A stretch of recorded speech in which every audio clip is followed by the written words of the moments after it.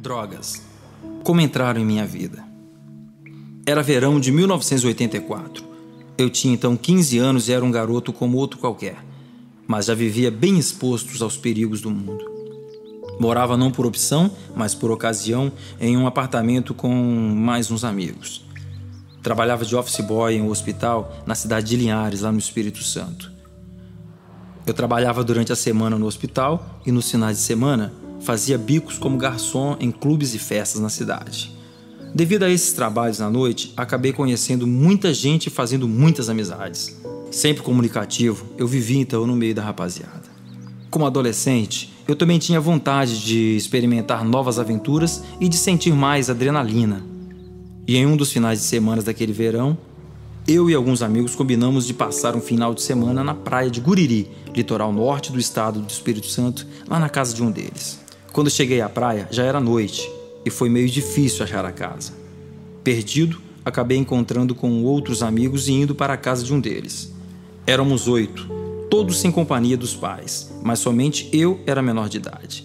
Na verdade, nem lembro de quem era a casa, só sei que eu estava lá. Um garoto de 15 anos, sozinho no meio de jovens cheios de vontade de experimentar coisas novas. Naquela noite, haveria uns shows com algumas bandas e um renomado cantor nacional, Lulu Santos. Tomamos umas biritas e fomos todos para o show. Eu era o mais novo da galera e entre aqueles amigos havia uns quatro que eram barra pesada no quesito drogas. A noite foi passando, os shows rolando e sem que eu percebesse como, lá estava eu bebendo e fumando maconha em busca de algo que, confesso, até hoje eu não sei o que era ou que gosto tinha. Foi assim que experimentei maconha pela primeira vez na minha vida. Fumamos primeiramente em grupo e naquela mesma madrugada de escolher um baseado com um dos jovens do grupo. Saí de fininho, andando pela beira da praia, fumando e acabei dormindo ali mesmo, na beira da areia e acordando no outro dia, quando o sol já raiava. Eu jamais imaginara que fosse fumar maconha um dia, pois eu sempre tive um propósito de não me envolver com drogas e álcool. Para mim, era uma questão de honra, uma questão de família. É, mas é sempre assim. Já dizia São Francisco, né? Diga com quem andas, que direi quem tu és. Depois de ter feito aquilo, me arrependi amargamente. E a verdade é que eu achava que nem efeito tinha feito sobre mim. Eu ficara tão doidão na noite anterior que nem lembrava de nada no outro dia. Mas se não tinha efeito, por que será que mais tarde eu acabaria querendo provar novamente? Por que experimentei outras drogas? Por que cheguei a gastar tudo que ganhava com meu suor com essa porcaria que nada é além do que o próprio nome já diz: droga?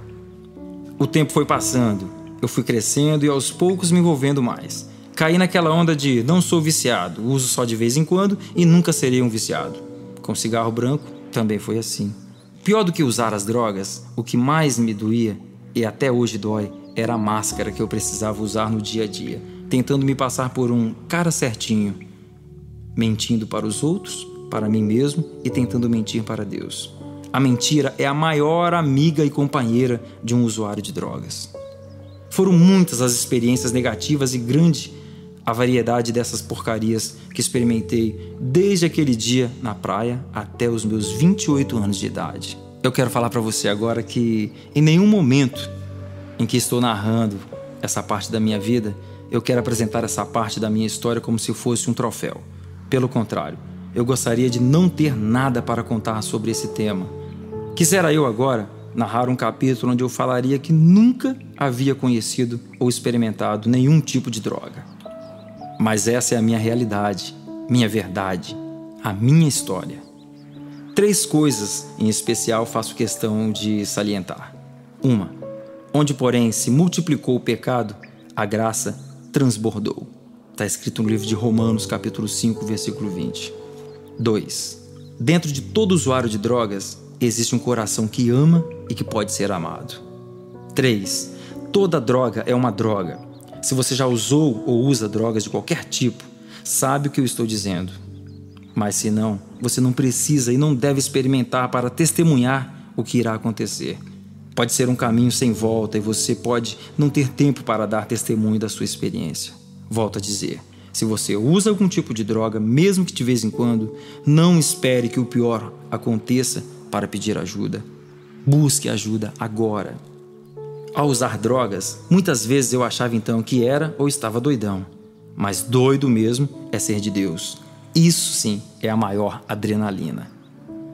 Já se passaram 15 anos desde que rompi com as drogas e até hoje eu vivo com as suas consequências. Infelizmente, ainda sonho hoje em dia com alguns momentos da época em que eu era usuário de drogas.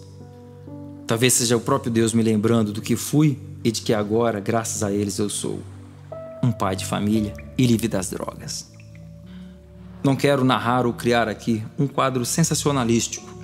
O que escrevo e o que testemunho é o que vivi. Às vezes ainda sinto vontade de voltar ao passado, quando sinto o cheiro de um cigarro ou de um baseado de longe. Essa é a realidade de um ex-usuário de drogas. É como qualquer outro pecado em que fomos viciados. Felizmente, hoje posso dizer que sou livre. Sou livre e sou dependente de apenas uma branquinha. Uma branquinha que me deixa cada vez mais louco pela vida e cheio de adrenalina. Em vez de só cheirá-la, eu posso comê-la.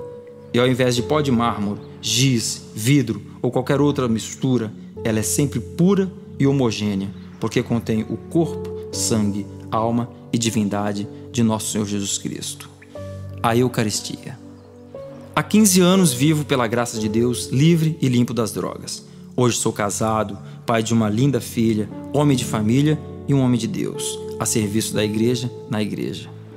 Hoje sou um total dependente da Eucaristia, a branquinha que é e sempre será a melhor adrenalina que já experimentei em minha vida.